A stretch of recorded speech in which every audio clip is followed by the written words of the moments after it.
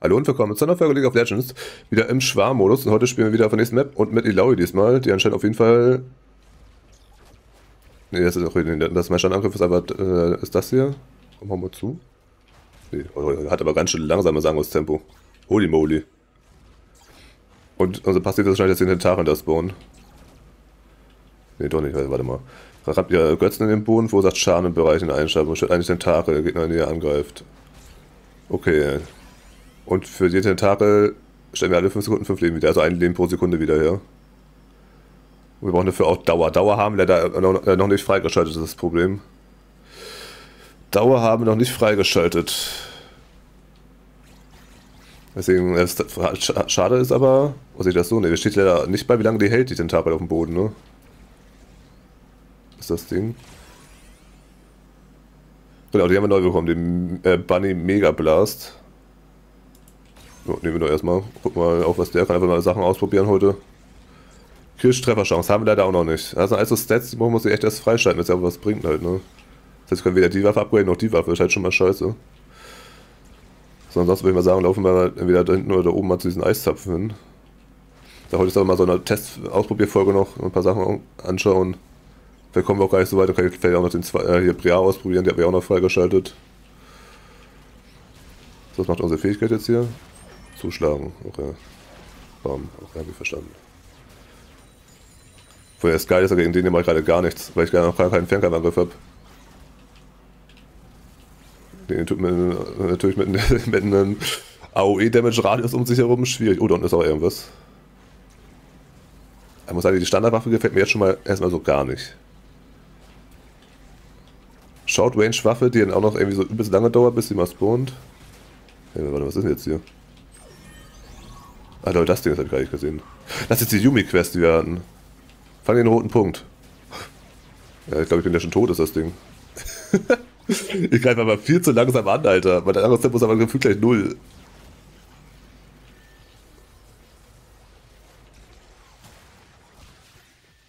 Ich glaube, das wird nichts.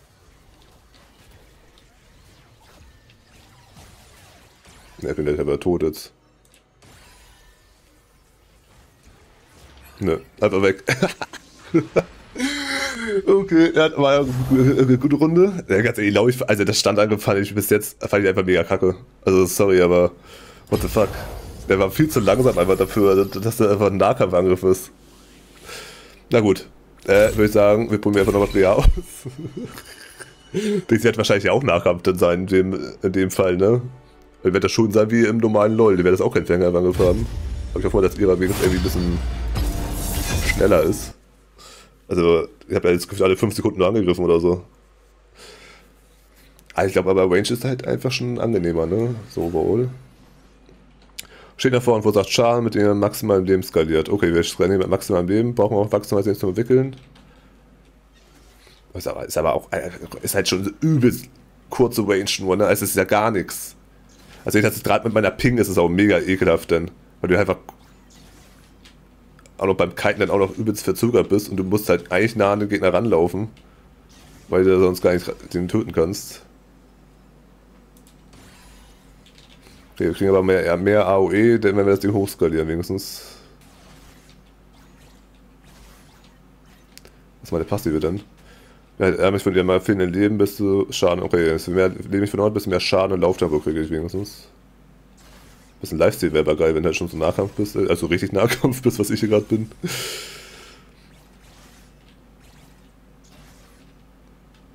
Also durch das jetzt auch Briat tatsächlich noch ausprobieren, würde ich echt tatsächlich sagen, dass dann heute erstmal die letzte Folge von Schwarmos ist. Wie gesagt, bis es dann auf einen Live-Server rauskommt. Fähigkeit einfach mal einsetzen. Okay, meine Fähigkeit ist aber echt, ist meine E aus dem richtigen Spiel. Aber ich kriege halt trotzdem noch Schaden, also ich laufe an den Rand, das ist ein mega Kacke. Und ich halte mich aber auch, auch basierend auf meinem fehlenden Leben. Ja, halt, aber halt basierend auf meinem fehlenden Leben, ne? Das wäre mit Full vom Gegner rausspringen, kriege ich wahrscheinlich trotzdem mehr Schaden, als ich bekomme. Das ist halt die Frage, wenn ich jetzt auf den Gegner rausspringen will, müssen wir eben ausprobieren, ob ich mich dann hochheile von der Theorie her. Weil eben war es natürlich auch so ein kleiner Elite-Gegner, so deswegen brauchen wir auf jeden Fall auch mal. Ich habe bisher einfach nur meine Standardwaffe, ne? Yumi Quest spawned.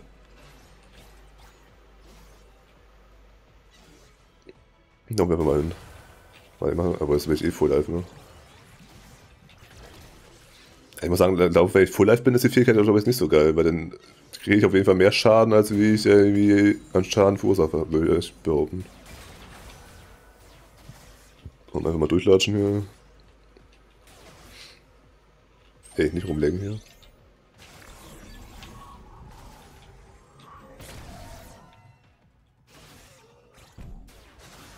Ach du Scheiße.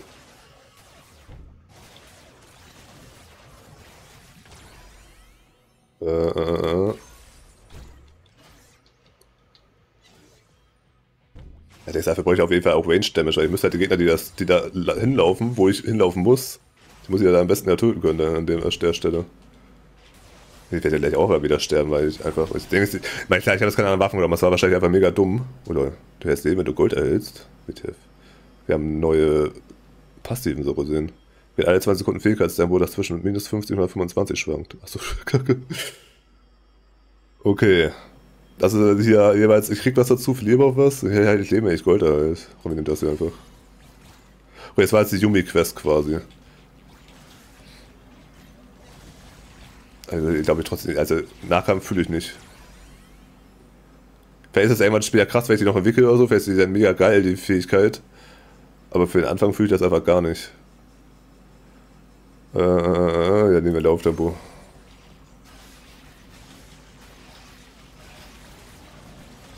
Ich halte mich sogar tatsächlich hoch halbwegs.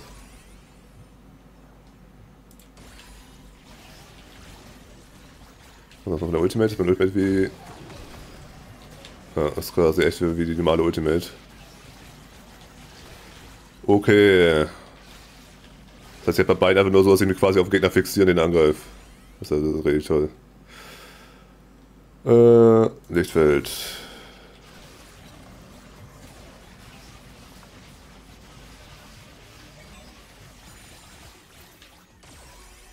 So, das, ja, stimmt, das die Einsam, das war dieses Schild, ne?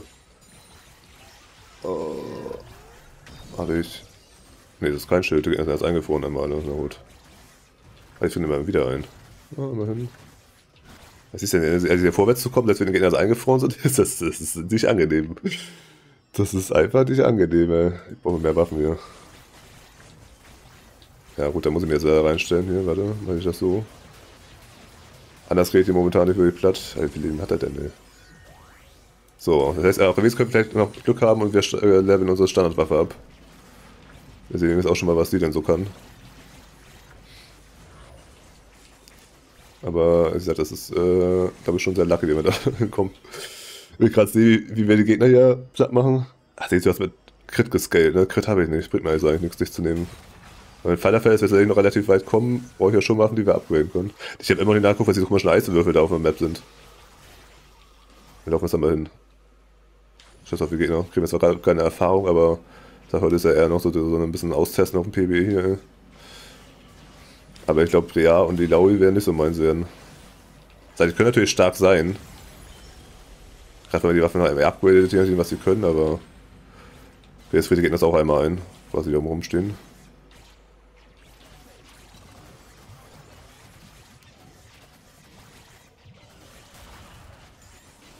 Okay.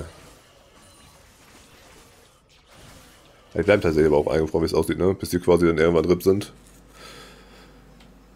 Ja komm. Haben wir es ja auch noch nicht zum Upgraden, aber das Banninggeschütz ist ja trotzdem nicht so schlecht. Wir brauchen actually mal ein bisschen Range hier, ey.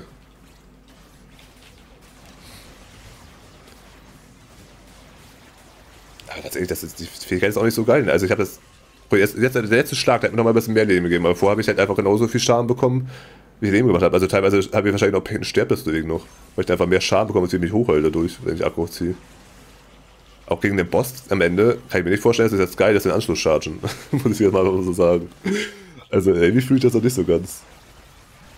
Also ich krieg halt. Ja, je nachdem kriege ich vielleicht ein bisschen mehr Leben jetzt, wenn wenig Gegner da sind. Weil nicht wie viele Gegner da sind und ich Damage dadurch bekomme. Mal gegen dich hier bringt es jetzt ganz gut, wenn ich so viele Gegner habe. Hm. Was will ich denn noch haben eigentlich? Eigentlich den Statics noch wieder haben, ne? Hat auch mit maximal Leben skaliert. Also, also so drei Sachen zu haben, die mit maximal Leben skalieren, ist natürlich geil. Weil ich einfach maximal Leben stacken kann. Das heißt skalieren, ne? Aber die sind ja zum Wickeln. Oh, das Ding skaliert ja sogar mit meinem maximalen Leben davon abgesehen, ne? Problem deswegen auch einfach mehr maximales Leben. Also hier ist ja wieder das Teil, das sehe ich gerade. Gib's mir. Oh. Bam, bam, bam, okay, das heißt, wir sollten jetzt eigentlich gleich unsere Waffen-Upgrade bekommen. Wir wickeln Schlä äh, Schläge halten höhere Reichweite und Schaden und lösen eine steigerbare Blutung aus. Okay, mehr Höhe und Schaden ist auf jeden Fall gut.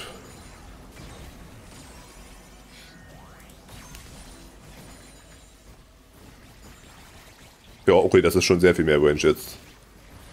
Das ist, glaube ich, sehr wichtig, dass man die auf jeden Fall schnell upgradet, dann die Fähigkeit. Wie gesagt, vorher war die einfach viel zu äh, kurze Range. Müssen nochmal gucken, genau, wie viel Schaden wir da wirklich jetzt machen. Brauche ich halt noch mehr Fähigkeitstempo und wir ein bisschen schneller angreifen. Also schon sehr langsam, was wir hier noch haben gefühlt. Ah ne, wir waren gerade sehr langsam, wegen unserer Yumi-Passiven. Wir waren gerade wahrscheinlich im Minusbereich. Was, geht das jetzt auch bei dem Klingen mit? Probiere ich jetzt einfach mal aus. Den mache ich eh nicht. Lebensgeneration brauche ich auch nicht wirklich. Habe ich jetzt drei Dinger, die das schlagen? Sind immer noch zwei, oder? Würde ich jetzt behaupten. Ich glaube, das funktioniert nicht mit dem Ding, habe ich das Gefühl. Weil es ist halt wahrscheinlich kein Projektil so gesehen, ne? Was halt ein. Ist halt wie in normalem LOL, ist halt ein Schlag kein Projektil. Also der So-Wall äh, blockiert Projektile, dementsprechend ist ein Mini-Angriff kein Projektil. Das das ist auf jeden Fall gut zu wissen. Hätte sein können, dass es ja trotzdem halt funktioniert. Dass er trotzdem so gesehen, dass er noch so eine Klaue mehr zuschlägt, aber ne.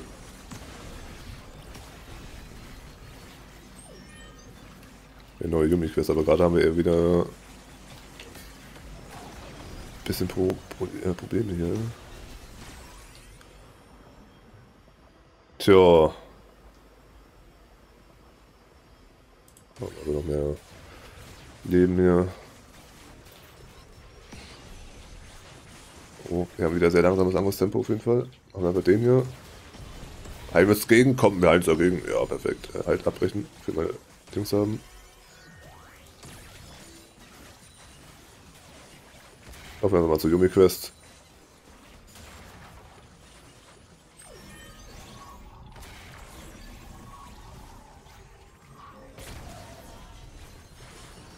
Ziel rechtzeitig erreichen. Okay.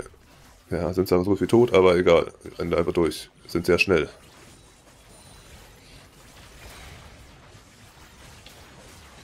Heil dich hoch. Komm, ein bisschen hochheilen. Ja, perfekt. Reinrennen. Okay, Gegner haben eine Chance, bei ihrem Tod mehrere Goldmünze fallen zu lassen. Für ihr Fähigkeitstempo wieder Schaden. Durch Schaden.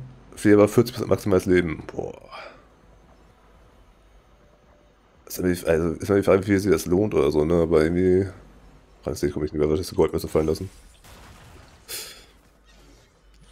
Also kann man, wohl mein klar, für ein PB ist es eh nicht so, äh, so praktisch, aber sagen wir für normalen, wenn es irgendwas auf einem normalen Server rauskommt, dass sich da Sachen freischaltet.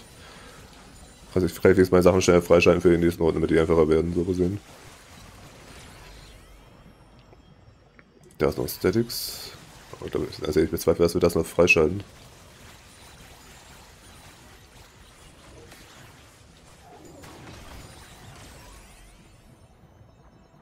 Jo. Ja, mehr Leben dadurch, dass das Ding noch mit Leben skaliert.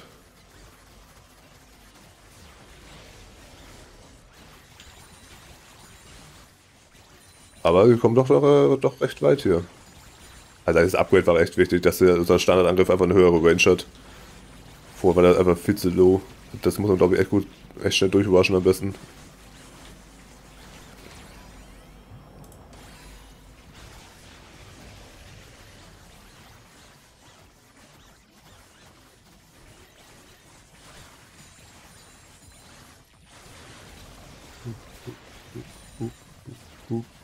Also das kriege ich aber gerade schon mehr Schaden, als wie ich Leben dazu bekomme. Jetzt wird es langsam wieder, wieder ekelhaft und eng. Mir fällt erst auf, dass ich gar nicht das anhatte, dass ich meine Mausrichtung angreife, sondern einfach irgendwo hin angreife. Das hat mir gar nicht aufgefallen.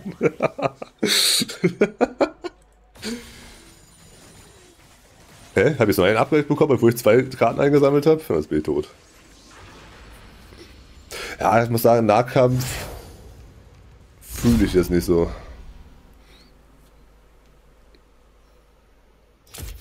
Mhm. Größenverzehrer freigeschaltet, Augmentierung. Okay, das heißt, wir haben jetzt größere Range. Was ist der Größenverzehrer? Also warum Verzehrer? Ich würde schon sagen, wir haben mehr Range mit den Waffen gefühlt, aber... Werden wir vielleicht bei den Upgrades sehen. Verstehe das auch noch mit bei, was genau das macht. Ah, die ist hier nicht bei. Das wäre auch hier jetzt bei. Keine Ahnung, was Größenverzehrer ist halt Verzehrer. Hört sich an, als wenn es kleiner wird, oder nicht? So vom Ding her. Na gut, aber wie gesagt, ich würde auch sagen, das war's dann erstmal mit den äh, Schwarmfolgen vom PBE. Warten wir mal, bis es äh, dann wirklich auf dem Live-Server rauskommt. Dann werde ich auf jeden Fall nochmal mehr davon aufnehmen. Ja, dann vielen Dank fürs Zuschauen und äh, bis zum nächsten Mal. Ciao.